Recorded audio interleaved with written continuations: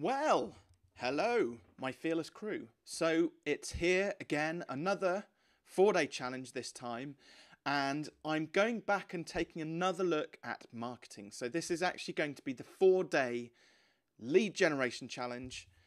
And the idea is that hopefully, if you implement a lot of these things, then you will start to um, generate some more leads for your business. Because I've noticed that pretty much every single business that I speak with um, is struggling with generating leads, basically. So, uh, and I think the problem is the same the world over. And it kind of has led me on to creating um, a title for a new sort of talk, which is called Help, My Marketing Sucks, and Why Is That? So basically, I'm going to um, dispel a couple of myths um, around marketing, give you a little bit of a recap, first of all, um, uh, as to um, why why your marketing is a so important and um, b why we tend to struggle with it the most. And there are one or two very simple mindset shifts that I want you to remember whilst I'm delivering this. So um, I'm just going to flick across onto my second screen. Uh, it's this really cool thing which I've just learned to do with open broadcast software. You can actually set up two different screens and flick from one to the other uh, which is really cool. So basically, all of you will have seen, hopefully, seen my five C's model before, whereby we we um, put some content out there. Now it's the content which is the lead generation side of things, but I want you to focus on some different metrics because most people look at lead generation as a sales activity and it's not. As you can see, the sales part of this, the conversion, doesn't happen until you get right down to the bottom uh, down into the conversion stage down at the bottom here. Uh, that's why these are called um, lag indicators. Now, I say to people that basically we have three really important numbers to remember 70, 10, 2. So, this is, um, I'm going to show you two sets of stats based on Google Zero Moments of Truth. So, I drill it into all of my fearless clients. 70, 10, 2 is about basically having 70 calls, 10 appointments, and two sales. And Google says that this is the average conversion rate from a cold lead. So if you think your um, your conversion rate is higher than 20%, one in five, um, then probably you've got some great word of mouth marketing going on, and that's good for you. But if you have to grow and scale your business, you're going to have to at some point tackle a cold marketplace, and 70 10 2 is what that's all about.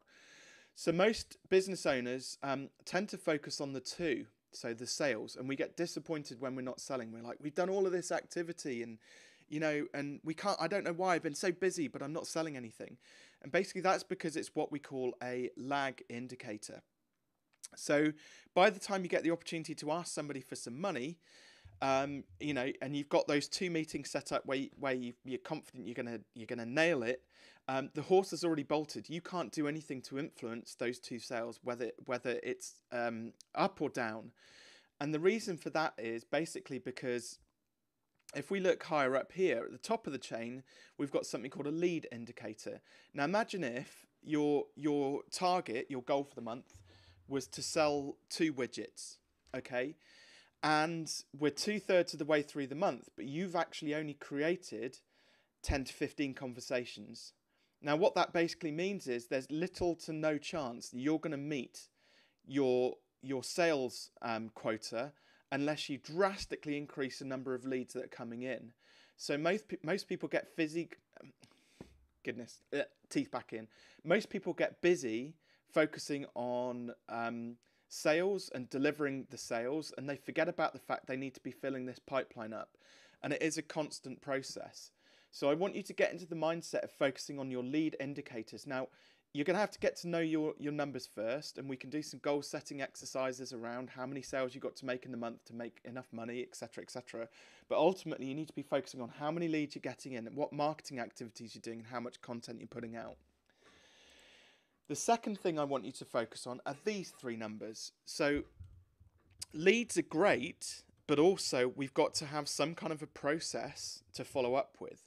So a lead basically. So um, if we go back a step, so when it comes to content and conversations, um, you know those are just one or two touch points. They're called brand building brand awareness basically. But actually, the sale happens once we've achieved these three different numbers here. So that means creating and building seven hours worth of engagement, across 11 different touch points and four different locations. So, for example, if you've got a website, you know, somebody visitors, well, that's like probably five minutes worth of engagement. It's one touch point, one location. Maybe you've got a business card or you meet somebody at a networking event. So that's another couple of touch points, another couple of locations. But the business card is like 20 seconds of engagement, maybe if they stare at it for a while. And then maybe you have a 10 minute conversation with them. So we're nowhere near this seven hours worth of engagement.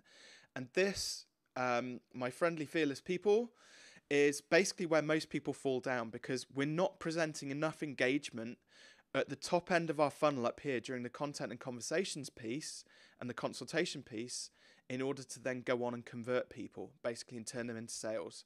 So this is why we need to spend most of our time up here and less time down here and we need to get yes we need to get better at selling but equally we need to get better at producing leads. So there's no um, there's no exercise or worksheet for this one. This is literally just all I want you to do is just change your mindset from sales to leads. And that is the most important thing from sales, lag to lead indicators. Make sure you're putting out content, having lots of conversations. And I can guarantee that if you start to make those fundamental changes um, and introduce more touch points, more engagement, you will start to get better results, both from a lead perspective and a lag perspective from a sales perspective. So that's that. So that is day one of the four day lead generation challenge. Um, like I said, there, there's if if you've um, managed to get a bit of a mindset shift, then drop a note into the con- um, uh, into the comments box um, either below this video or in the Fearless Facebook group and um, I'd be interested to hear whether that shifted you and your way of thinking and how much time you're potentially going to put into the various different activities that you're doing.